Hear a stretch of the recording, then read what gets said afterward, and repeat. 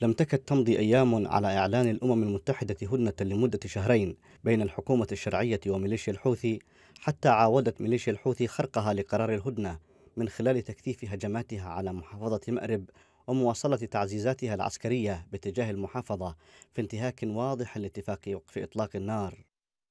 الهجمات الحوثية التي استهدفت مواقع الجيش جنوب مأرب وتركزت تحديدا في جبهة الأعيرف تمكن الجيش الوطني من صدها ملحقا العديد من الخسائر في صفوف الميليشيا الحوثية.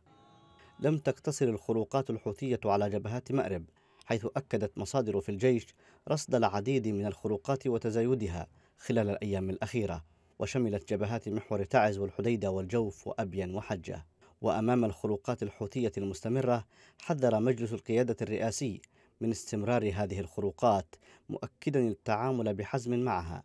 داعيا في الوقت ذاته الأمم المتحدة إلى إلزام الميليشيا بالالتزام بالهدنة ورفع الحصار عن مدينة تعز وصرف مرتبات الموظفين في مناطق سيطرة الإنقلابيين. ومنذ بدء سريان الهدنة أعلنت الشبكة اليمنية للحقوق والحريات أن ميليشيا الحوثي ارتكبت نحو 203 خروقات للهدنة في مختلف المحافظات مستغلة غياب الطيران والتزام القوات الحكومية بالهدنة.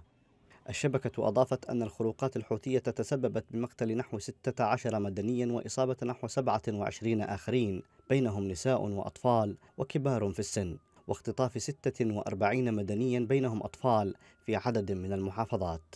ليست المرة الأولى التي تقوم فيها ميليشيا الحوثي بخرق اتفاقات الهدنة التي ترعاها الأمم المتحدة حيث بات ذلك سلوكا دائما تنتهجه الميليشيا للحصول على بعض المكاسب على الأرض مستغلة تساهل المجتمع الدولي إزاء الخروقات التي ترتكبها وغياب الضغط عليها لفرض التزامها بالهدنة.